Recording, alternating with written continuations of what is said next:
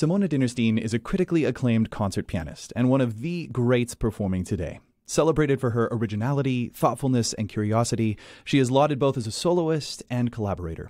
Simone Dinnerstein has returned to Winnipeg to once again perform with the Manitoba Chamber Orchestra in Art of the Baroque. She's also returned to the Classic 107 studio and joins me now. Hello, welcome Hello, back to Winnipeg. It's great to be here. Well, I was thinking about the last time you were in, and it was uh, January, and I think it was warmer on that January afternoon than it is this November morning Oh. in town. Yes. Um, we Winnipeggers really do love to to talk about the weather, I guess. Well, it is pretty striking. Uh, it's, it's very true. Yeah. But I, I do want to talk more about that concert back in 2018. Um, it was a concert that featured the Canadian premiere of, of Philip Glass Piano Concerto Number Three. Um, I was there. It was a, a packed house, a passionate performance of a work written specifically for you, and you went on to perform the work in Germany, France, Italy. You've toured it extensively through the U.S. Um, I, want to ask you about something that you said in, in the interview a few years back. Um, we were chatting about uh, the life of a, a touring performer, and you you mentioned rock and roll musicians. I think it was Leonard Cohen and Suzanne performing the same piece over and over again. I'm curious now, what what was it like performing the glass so regularly for, for more than a year? Oh, well, I am actually continuing to perform it. In fact, I just performed it two weeks ago in Turin, and I believe it was the 37th performance of the piece, Wow. which is pretty amazing for a new piano concerto that was just premiered in 2017 to have that many performances in two years. And I've done, you know, obviously I've done all of the performances. So, um, it is quite interesting to live with the same piece like that for so long. And I have thought about that. Um, you know, I've thought about people that play the same work over and over again. Um, you know, it changes a lot depending on the orchestra that I'm playing with and the conductor that I'm working with. Sometimes I'm not working with the conductor, I'm just leading it myself. Um, sometimes orchestras do something that is so kind of unexpected that it it shows a new aspect of the work to me. Um, and then sometimes orchestras have a tendency to have the same kinds of mannerisms in the same place. And then I'm like, ah, not for the 36th time, you know? But it does evolve and it does continue to change then. Your interpretation, orchestra's interpretations, kind of depending on where, where you're playing it. Definitely. And, and what's interesting is that oftentimes the conductor will listen to my recording of the piece, which I made um, after right after the premiere. So I Yeah. had just played it like once and then we recorded it. And now I play it quite differently. And so um, so that's interesting because they'll they'll say, "Oh, you didn't do it like that in the recording," and I'm like, "Well, that that was two years ago." yeah, yeah, yeah. New year, new me. Yeah. Um, well, uh, then that kind of leads to my next question. In that you were reunited with the MCO this past summer. You were you were performing the the Philip Glass Piano Concerto Number Three with the MCO at, at Stratford at Stratford Summer Music. What, what was it like getting back together to perform it almost like a, a year and a half later? Uh, that was really lovely, and we actually were we, we did a tour. So Yeah. I think we did four or five different concerts, and uh, it was nice to live with it with them. I mean, that's always different than doing just one concert.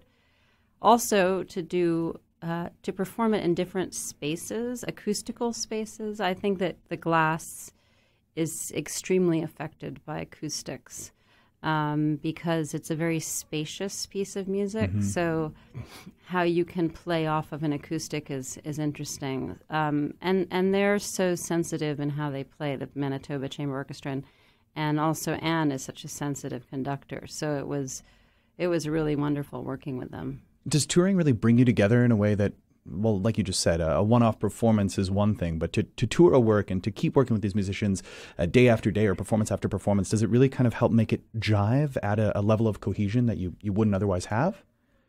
I think that it does change the whole experience because you're actually socializing together, and I think that um, orchestras are really sort of mini societies, and um, and so to become part of their community is great. Sometimes they allow you to become part of their community just by rehearsing with them, and other times, you know, breaking the ice by touring with them is is even better. And here you are, uh, back reunited again, just a, a, few months later in Winnipeg. Um, they are, like you said, just a, a, fantastic band. What do you enjoy about collaborating with, with the MCO? Can you can you speak a little bit further to that?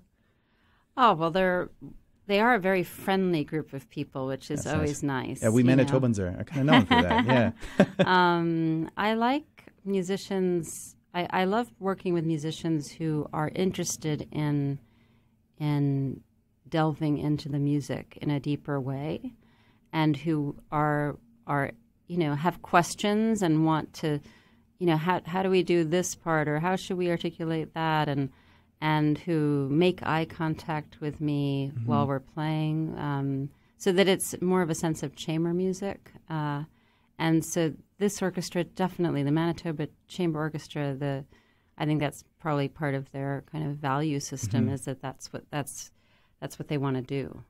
So um, they are led by the outstanding Anne Manson. Um, not for this performance, though. Uh, uh, Douglas Boyd will be on the podium. Have Have you guys worked together before at all? Have your paths crossed? Uh, Interestingly, we worked together in Australia. Oh, good. Yeah, all good things happen down under. Yeah. I guess uh, just right across the world. What what brought you together there? Uh, we played um, actually one of these Bach concertos, the D minor. Oh, we no did way. in with the Melbourne Symphony Orchestra a number of years ago. I've not seen him um, since then, and I'm looking forward to seeing him again because actually he, you know, he's Scottish mm-hmm. and he. Um, recommended a place for me to go in Scotland for a holiday, and I actually went there. Oh, so wow! I need to report back to him. yeah, I was, was going to say, give him, give him, the full recap. Yeah. um, he, uh, for listeners, uh, one of the founding members of, of the Chamber Orchestra of Europe, the oboist and conductor. Just he must bring such a, a wealth to the uh, wealth of knowledge to the program and, and, and what you guys are going to be doing together, especially having performed together before. Um, so yeah. you'll be performing two Bach concerti. Yes. Uh, what can you tell us about those those two works? Uh, these are I'm playing the E major and then the D minor, and they're really extremely different pieces mm-hmm. of music. Um, I just came from San Francisco, where I was playing a program with four Bach concertos that I that I led from the keyboard, and these were two of them. So it'll be very interesting to do it with a conductor this mm-hmm. time. Um, the E major is uh, well. One thing that I should say is that both concertos were also used by Bach in cantatas, right? And so that's interesting that they share that in common. Um, and they both have extremely profound slow movements. Um, where in the cantatas, there in, in one of them, the E major, there's a, a, a soprano who sings with it, and in the D minor, it's a choir that sings with it. um, so I think that that's interesting that Bach took music that has text and also used it as music without text. Um, mm-hmm. And uh, what I feel is that his music always says something very specific, even if it's even if there aren't any words to it. And uh, I recorded the D minor concerto a number of years ago with yeah, the Staatskapelle, right? yeah, in Berlin, yeah. and um, I remember that at that point I didn't know about that cantata, huh. and the concertmaster, uh, who was very schooled in in in uh, Baroque music, he told me about it, and um, and it, I remember reading the words and thinking, of course, this is what I thought the music was saying anyway. You know, I didn't need yeah. the words to tell me that. Yeah. I mean, uh, there's there's so much to the music of Johann Sebastian Bach, and that, that D minor, the BWV 1052, is is definitely the more famous of the two. It a very very famous um, yeah. uh, keyboard work.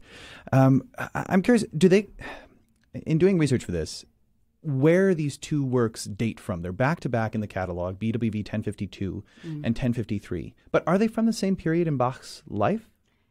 You're asking the wrong woman. Okay. I, just, I, was just genuine. I was trying to figure it out and figure out if they place from the same oh. thing and if that might have something to do with the differences because they are very different works, right? Um, well, I mean, I first of all, I should know the answer to that, but then, uh, I mean, all of his music is so different. I mean, mm-hmm. you even take a piece of music like the Goldberg Variations, which you know he wrote in one you know period of time, mm-hmm. and each variation is is entirely different than the other. So I think that that shows the the scope of his imagination. Um, The E major. Also, I think he he, he had a very particular sense about the character of a key. Mm-hmm. So works that he wrote in E major have a very different kind of sound and and uh, you know uh, emotional palette than those in D minor. Um, and uh, I find the E major particularly um, just joyful and sunny, which m- much of his E major music tends to be. Of course, not this not the slow movement, No. which is is contrasting. Yeah, yeah, yeah, it so- contrasts. Um, I- I guess kind of the last thing I want to ask you. Um, again, in listening to our past conversation, uh, you described Bach as the perfect balance of mind and heart.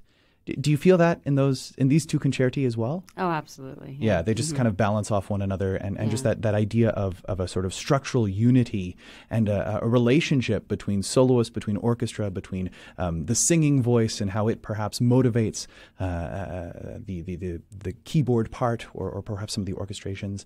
Um, it should be a marvelous show, shouldn't it? Yeah, I'm looking forward to it very much. Well, I think we are looking forward to having you back in town. Uh, thanks so much for taking the time to come by Classic 107. Thanks. It was great talking. Simone Dinnerstein, Art of Baroque is the third concert in the Manitoba Chamber Orchestra season, which takes place tonight at Westminster United Church, 7:30 p.m. For more information, visit the mco.ca or classic107.com.